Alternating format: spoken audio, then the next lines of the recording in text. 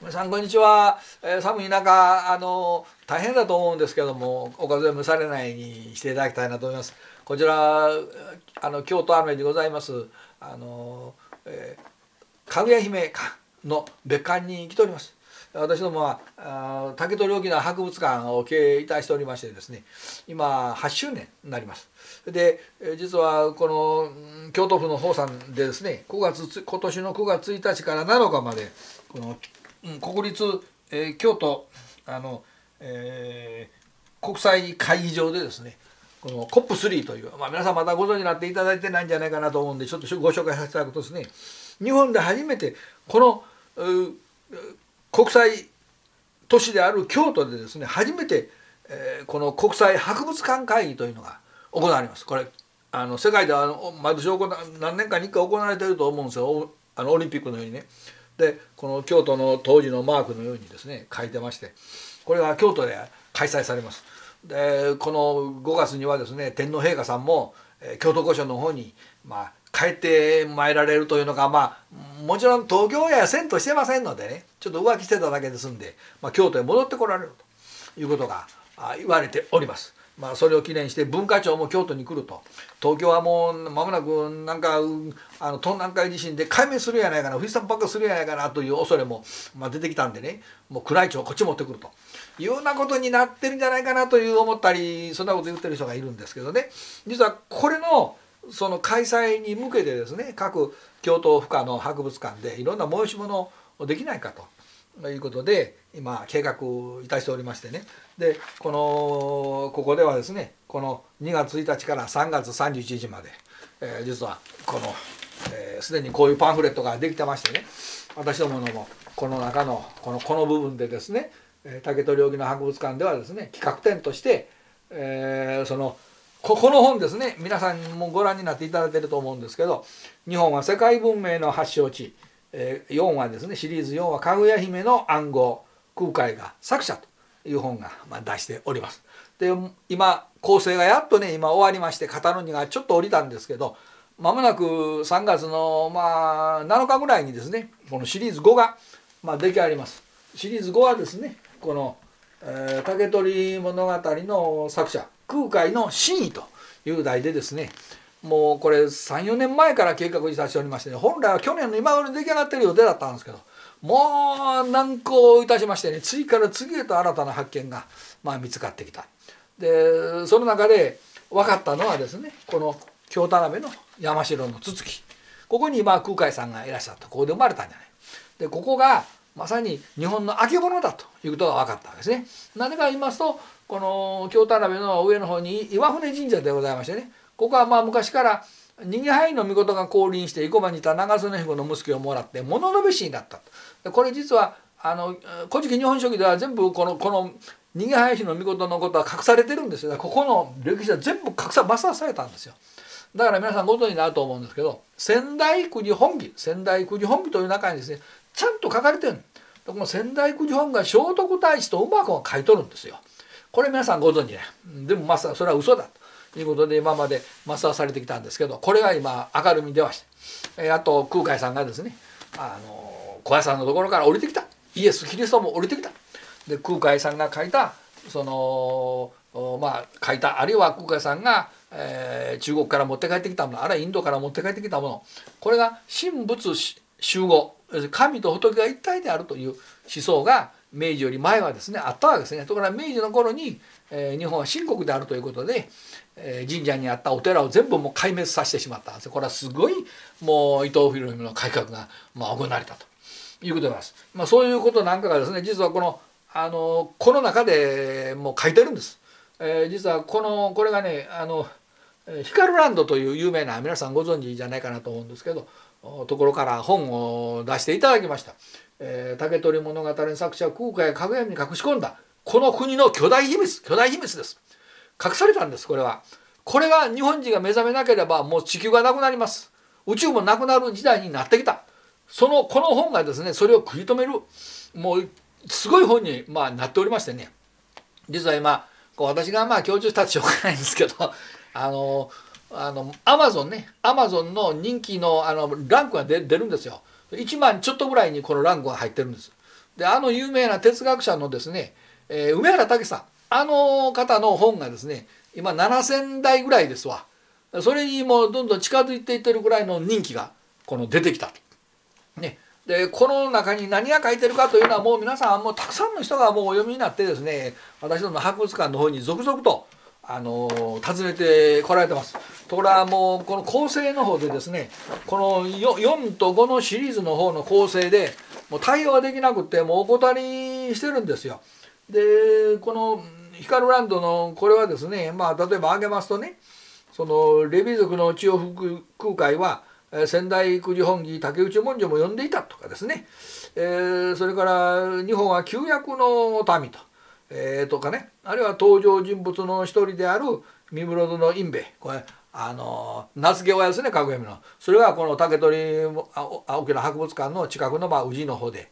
えー、いらっしゃったとかですね。あるいは竹取物語の発祥は、え、京田辺であるとこれはもう間違いないということがまあ分かっておりますし「柚月の君」あるいは「かぐや姫」の物語はイエス・キリストのその何ていうんですかね、えー、復活と。あるいはその昇天した日はですね8月15日に昇天した日は西部マリアの、えー、昇天の日と重なってると大文字の送りムンドですねこれは空海がまあ持ち込んできたゾラスター教の火を燃やす儀式であるということも分かっておりますし日本とユダヤがですね同祖論日本とユダヤの言葉もですねヘブライ語と日本がよく似てるこのヘブライ語は万葉集が最初ヘブライ語で書かれてたわけですね。でそのヘブライの方たちが最初に来たのがこの山城の、えー、この筒木のここの、えー、須知神社にですね、えー、その五頭天皇が祀られてるんですこれ小林空海が五頭天皇を掘ったんですけどその五頭天皇とスタの御事なんですシュメールのスサという地域にあった御事がですねここへ来てるんですよだからその実中和尚、えー、東大寺の2月のお水取りをやった実中和尚もですねえー、東大寺も古い時代からあったこの普賢寺のところに来てですね五重塔を作ってるんですよ。でその後に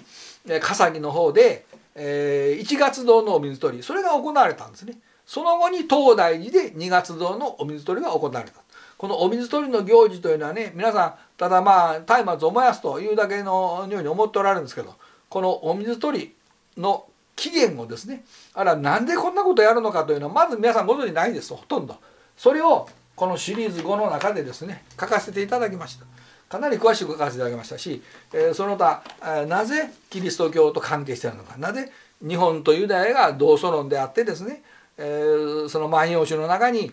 そういうものが書かれてるのかあるいは二十歳の関係者の人たちがここへ来た。ここであの空海が生まれてですね。でだからここの歴史を知っておってですね「古事記」に載ってる大筒木谷の巫女の娘にかぐや姫。そして、えー、水仁天の妃にかぐや姫という実在の人物がいてこれを空海が「古事記」を読んで知っていた。もちろんあの空海は仙台国本義のですね聖徳の大師の書いた三法というやつでね重仏神儒教仏教神道の思想だったわけですよこれ皆さんご存知ね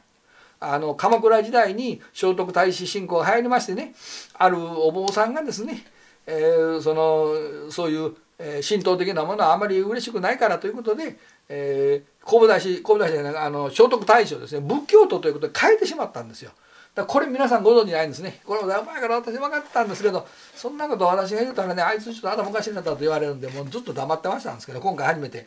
それを言わせていただくことになったそれらもこの5のシリーズでですね全部書きました。もうこの5のシリーズ。世界の歴史日本の歴史もうひっくり返ります。もうほとんどまあ 60%7% が我々学んだ歴史はもう嘘やったということをもう暴露しました。空海のあ遣唐使で行ったのもですね、えー、指導層で行ったと皆さん。あのあよくご存知だと思うんですが実は違いましたちゃんと感想で言ってます。で空海の出自を考えればですね指導層なんては考えられないんですよね。それはもうこの本に全部書きました。あだからあの空海はですねあの果たしあじゃああの後押しねそれから佐伯氏はその乳のそういうあ仕事をしてたからもう数億円の金なんかももう捻出できたんだと。いうようにですねある方がまあ述べておられますけども感想で言ってるんですが東大寺で、えー、官の資格をもらってですね遣唐使へ行ってます。でしかも空海は遣唐使で行ったんですけど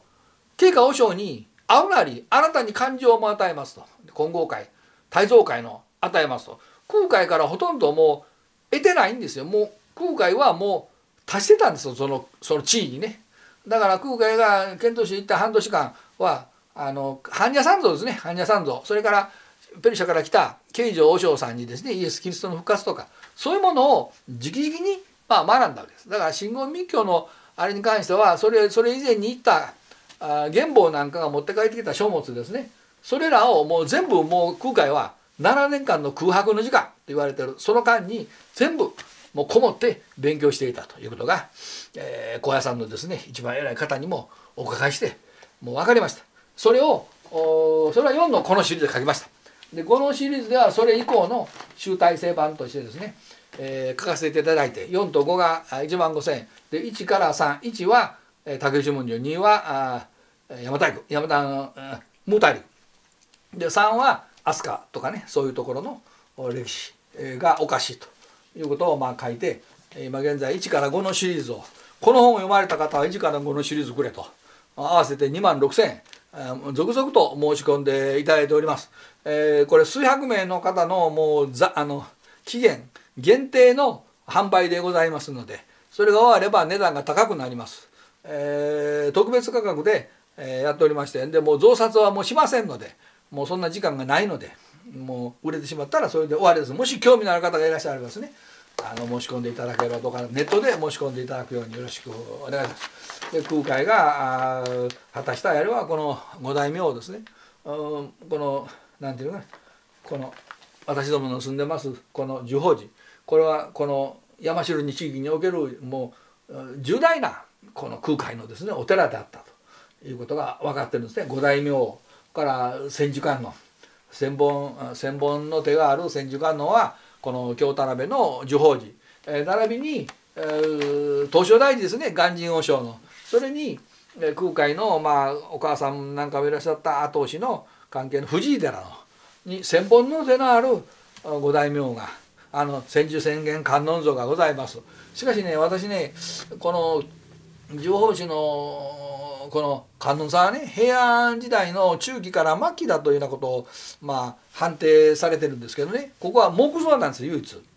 であの東大寺は金堂ですな。であの藤寺もまあ金堂なんですよ。木造の方がね私古いんじゃないかなとだから鑑定する人がおかしいんじゃないかなと私は思ってます。旧ここここだったんですそれがもう今拡散あの格下げされてね十分になったんですよ。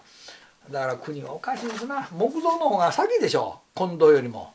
うん、私それ言いたい。それとねここ今5のシリーズでも書きました。これ見ていただいた。これがねあのあの京田辺の郷土史家の方からこのあれを持っておられた。私も以前に見たことあるんですけどね。この石姫工場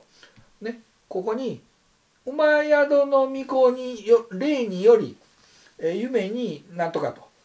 これあの以前のブログでも発表しましたんですけど。これ詳しくまあ読んでいくとですねこれこの石姫公女と聖徳太子はクロスしてるんですね時代がねだからここにこの石姫公女の墓のところにですねこの馬宿の巫女王子ですなより、えー、霊夢によりと書いてあるんでねだからここに私は聖徳太子が山城に来てたんやないかなと。でこれプラス山城の大江の王子というのもですね皆さんは山の瀬と書きますね。山瀬の大江の王子。ところが聖徳太子が書かれた重要な書物を見るとですね山の台。山の台って書くんです山の台。これが本来の名前なんですよ。山城というのは台と書くんですね。瀬じゃなくてね。あれ瀬は奈良の平城京から見た北の方の瀬のところに山城があるということで瀬にされたんですよ。最初は山台だったのにね。だから山瀬とすればここではないということを証明するためにねそういうふうに書き換えたんじゃないかなと。まあ藤戸さんがやったかもしれませんけど。本当は山台です。山城といえばここになってしまうからここに歴史があったりと分かるからそれをまあカモフライズするために書かれたんじゃないかなと。そうすればここのここに聖徳太子がい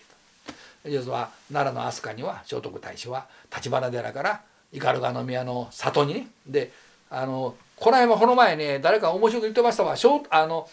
えー、法隆寺ね。法隆寺は斑鳩の宮やと。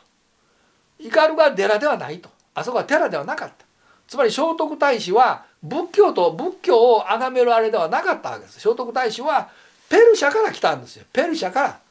でペルシャで異変があったので帰ったんです。だからあの太子廟には聖徳太子は入ってないんですよ。だから今までの歴史に言ってるのは全部もう抹殺ですわ。はっきり言って。これ間違いない、うん、だからあの神道系なんですよ。どちらかと言ったら原始キリスト教の信者ペルシャですからね。ゾロアスター教の原始キリスト教の信者ということがまあ分かりました。これは今最近あの宇野さんですかね。あの、えー、誰だかな、えー、久保さんですかね。最近あの言い出されましたわ。あの景教徒なんかと非常に詳しいね。あの方ですね、うん、盛んに最近もう YouTube で見てたらもうはっきりとおっしゃっておられますね。だからあの三法という聖徳太子の三法というのは儒教仏教神道なんですよ重仏神なのを鎌倉時代に最後に神の代わりに仏にしてしまったんですな。あのだからこれが我々学んだあの歴史がおかしいというのに気づかなかった人というのはあのおかしいおかしい歴史を我々は学んだということを皆さん目覚めるんじゃないかなと。だからこれからの現在行われているような歴史も目覚めていただきたい。嘘が多いということをね目覚めていただきたいと、まあ、思います。でシリーズ5の中にはこういう歌ですね。私どもの作りました「かぐや姫の歌」この楽譜も載ってますし是非あのあの有名な歌手の方にですねこれを歌っていただいたらですね世界的に有名なねあれになるのではないか。であの実はこの私どもの今回のそのあの8周年記念といたしましてね、えー、世界的にも有名なこの皇室関係ですね。あのフランスの皇室関係の人たちにも人気を博してますですね。この絵本作家。名前言いません。非常に難しい名前で覚えられますこの絵本作家の方に来ていただいてね。まもなくこの博物館の別館でですね。竹取物語の絵巻を描いていただくことになっております、え多分実現するのではないかなと。だからこういうふうな絵柄ではなしにですね。和洋折衷。日本の水墨画。並びにヨーロッパのフレフレスコ画っていうんですかねあの、えー、教会なんかにあるような色鮮やかなそういうのも交えながらあ切り絵のようなものも入れてですねもうすごいパフォーマンスですねまあ書いていただけるのではではないかなということを期待いたします。で今これ準備してるんですよ。これ準備してるんですここんな筆とかもね用意してもらったねこれ中国で買って帰ったこの筆ね。ピュッとこのお坊さんがパッとこんなするようなあのあるんですけどこれ本当の筆なん中国で買ってもらった買ってきたね。でこの筆もあるんですよ。この筆ね。この筆なんかももう今こんなん持ってる人少ないと思いますけどこれ立派な筆ですよこれ。中国のね。ほんで買ってきたやつなんですけどね。あとまああの先ほどのシリーズ5の中で話がもうあっちゃこっちゃになりますけどあの実はこの、えー、神武の子孫という方がですね、まあ、以前から参画していただいておりましてね実はジムの子孫エジプトに非常に詳しい。でエジプトのファラオはですね日本人が行って帝が行って作ったファラオだということが、まあ、高橋義則さんによって、えー、発表されてると思うんですけど。それにまあ私も興味を持ちましてね北海道にも行ってねジムの子孫にもいろんな話をお伺いしたんですけど、まあ、私は私独自のあの研究でですねこのツタンカーメンはまあ日本人だろうと。で日本人のお母さんで生まれましたんでね。おか日本人のお母さんのあれ生まれたので日本人であると。ん。で面白いのがこう面白いと言えば怒られるんですけどツタンカーメンの死因はね何だったのかと死因これは謎ですね。でこれも追求しました。でお母さんの経歴ネフェルティティというね、えー、から生まれたんじゃないかなとまあ当初言われたんですけどこれはまたちょっと別の方でねあのネフェルティティの中から生まれたのではないということが分かったので日本人のお母さんのハーレムというところでなんかあのあのお二人が恋愛関係になったんじゃないかなということからこの遺伝子遺伝子のこれ何ていうんですかねこれあの今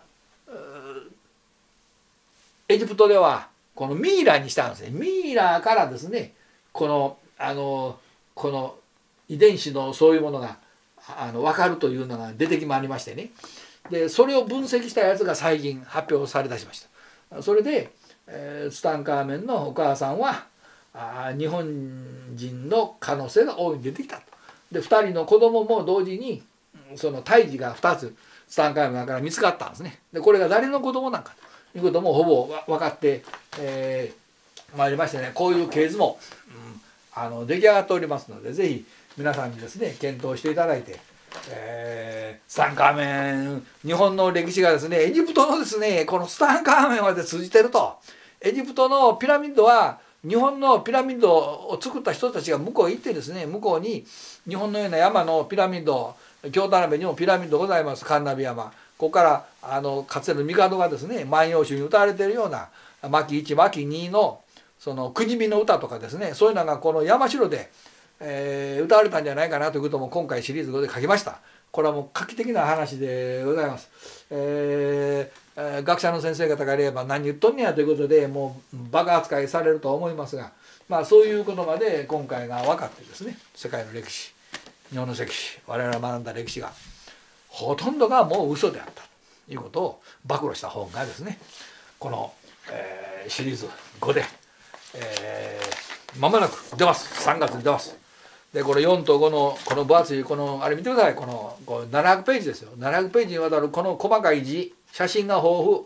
これがねこれを一通りねこれ一回構成パッとやるのに10日かかるんですよ。読もう思ってても10日間読んでさらにそれを字の間違いとかミスを出すのにですねこれはもう大変なさ一般の本で言えばもう3冊から4冊分の6冊分ぐらいのもうあの内容になるんですよ。これをあの4と5のシリーズ同じ700ページ近くでございましてね空海のことあるいは世界の歴史のことを書こうとなるとこのぐらいの本でないともう書けないんですほとんどね。それを数年間にわたる研究でですね、まあ、竹取物語の研究からいけばもう少なくとも30年超えてる研究の中から作者空海4と5のシリーズでどういう歴史があったのかというものを解明するあれとしてですね私のまあ全生命をかけてですね今回作らせていただきましたいろんな人たちにご協力いただいてねあのいろんな人たちも紹介していただいて一緒に取材に行ったりですね大変なあの皆さんにご協力いただいてやっと完成したものでございます。えー、間もなく完成いたしますので、えー、ご協力いただいた方にありがとうございました。えー、これでまあ私の肩にも降りると肩にも降りるということでですね、え、やっとほっとしたと。もう数日前まではもう頭ガンガンしてね足もねフラフラなんですよ。もうほとんど寝てませんからね年末年始。実は。食事もほとんども取れずにですね寝てても気になってもう起き起き出してきてまた構成やり始める。これおかしいなあれおかしいなと言いながらですねずっと、まあ、やり続けてまして電話も取れず博物館に来られてももう応対できずといった状態で誠に申し訳ないことをいたしましてですねまもなくお待ちいただきたいということで、えー、以上でございます。ありがとうございました。